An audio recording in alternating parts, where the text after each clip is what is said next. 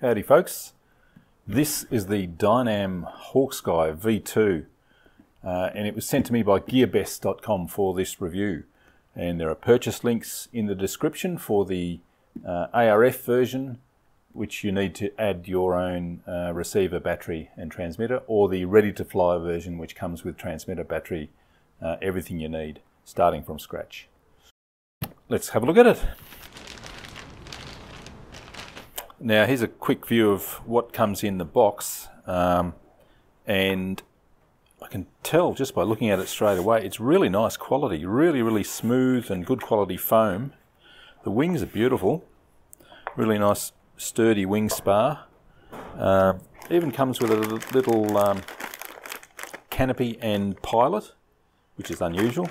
Landing gear, decals, uh, pretty good instruction manual. A spare prop that's impressive. Doesn't come with glue, I don't think, but that's okay. Glue's easy to find.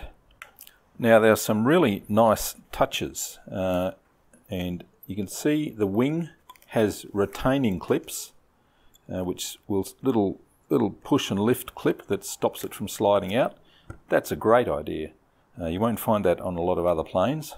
The control horns are very substantial. And I am very happy with these control horns. They're big enough to spread the load wide enough not to uh, push through the foam.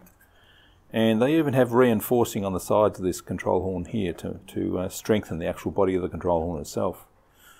So that is another very impressive addition. Good quality. I really like this style of aeroplane. Um, it's very much like the Bixlers or the AXN or Cloudsfly type uh, layout. Uh, and they all fly really, really nicely. This one's closer to a Bixler 1, I suppose, a little bit smaller than the Bixler 2 that I have. Uh, and I just know that it's going to be an easy to fly, uh, pleasant plane, and it'll make a great slope soarer as well.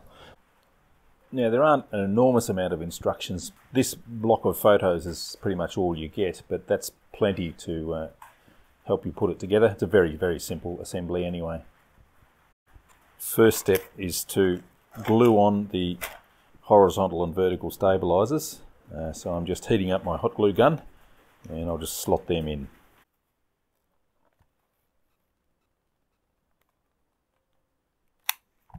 That should be enough. And just slot it into place. Slide it right forward push it down. Now just test fit the vertical stabilizer. That looks lovely.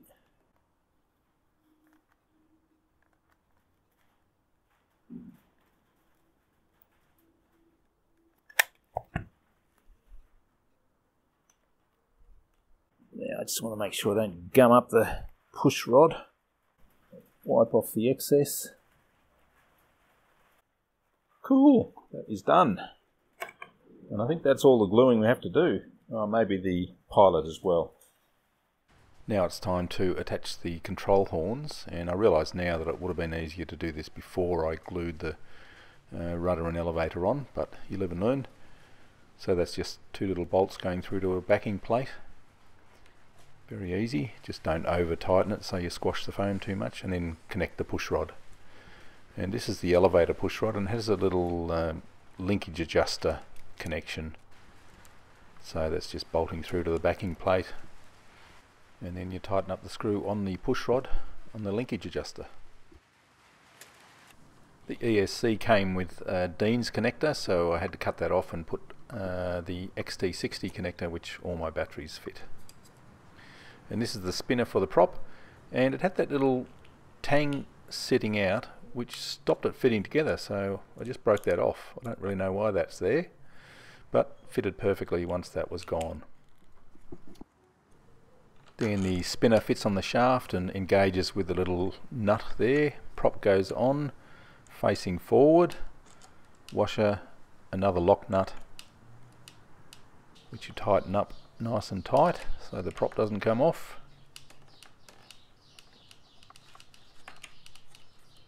And then the uh, spinner cover goes on just held in place by a couple of little screws.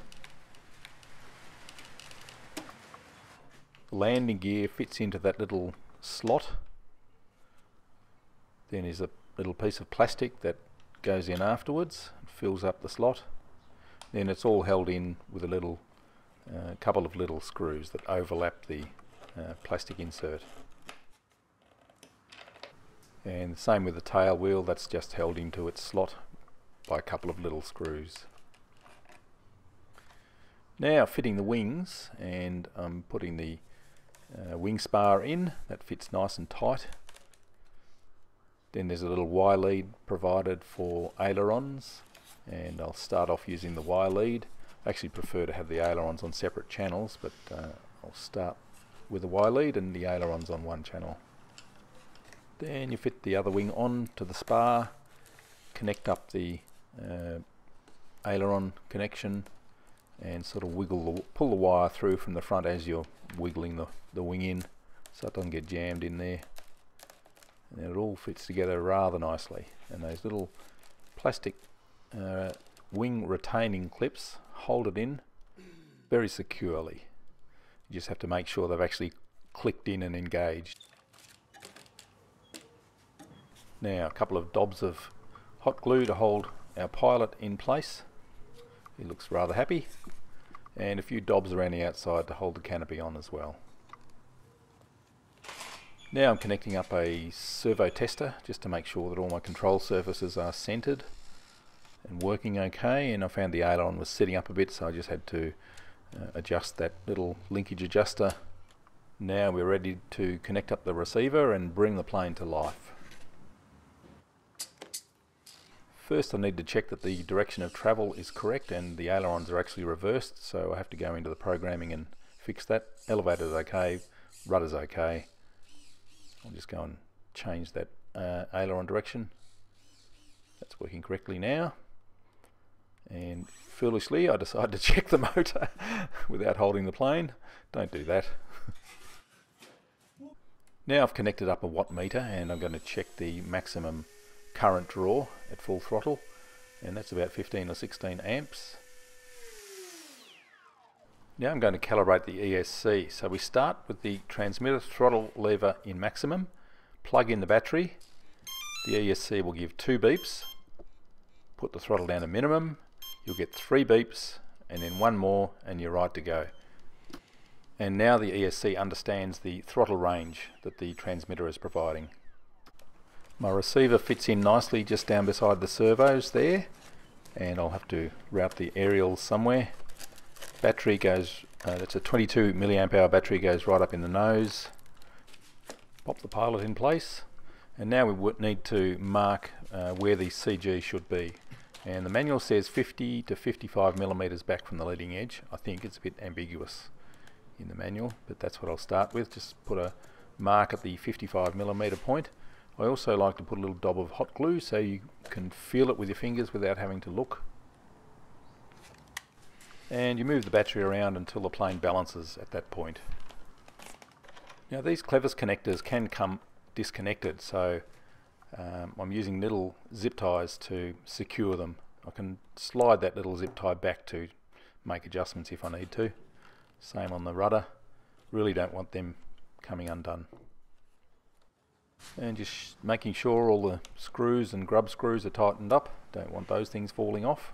And I usually don't worry about decals, but this plane comes with lots of funky little decals, so I decided to put them all on. These ones go under the wingtips, which is a nice touch on the tail. And that's all done, and that is a good looking plane. And the safety officer, Stormy the Cat, gives it a final check over, and he approves.